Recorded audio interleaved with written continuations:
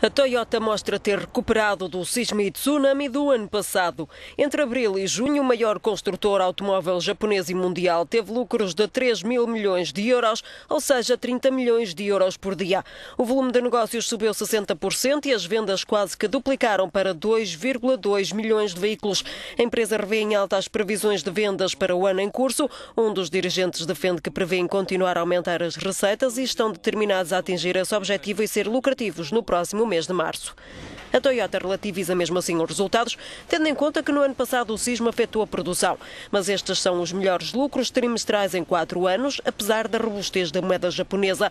Para atingir os objetivos fixados, a empresa conta agora com a procura pelos modelos híbridos nos Estados Unidos e no Japão.